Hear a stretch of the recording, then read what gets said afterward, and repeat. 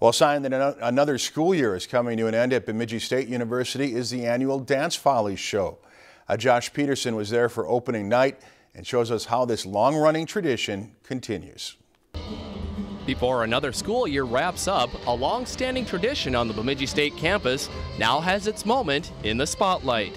For 71 years, the Funtastic Dance Follies provides a chance for students on campus to bust a move and show off some dancing skills. So the Dance Follies is a Bemidji State University tradition. It's something that um, any of the students can be involved in. Students, alumni, or faculty members can be in, in the show. So it kind of covers campus-wide students, which is kind of nice. Dance Follies not only showcases BSU students, but members of the community as well. While items like costuming and music may change each year, some aspects of the show always remain the same. We make sure everybody's having fun.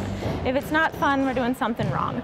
Um, and so that's the main thing is that everything stays fun. I mean, everything involves music, mm -hmm. whether it's brand new music or old music. The show features all forms of dance, ranging from ballroom to hip hop, offering something for everyone. There's a lot of really interesting people to meet, and, and it's genuinely fun. Like, and yeah, it's fun to express myself to music in a different way than I did in high school.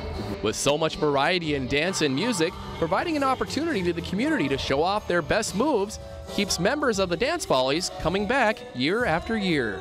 It's just awesome because if they are willing to return to come and see the show again, think how much fun they must have had while they were in it. Mm -hmm. So hopefully it makes lasting memories for those involved and maybe those in the audience. With the dance floor ready, the stage is set for another glamorous showcase through a variety of dance. In Bemidji, Josh Peterson, Lakeland News.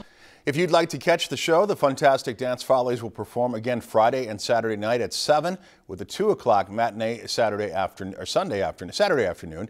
Tickets cost $10 for adults, $5 for alumni and seniors and children older than two. Students and children younger than two are free.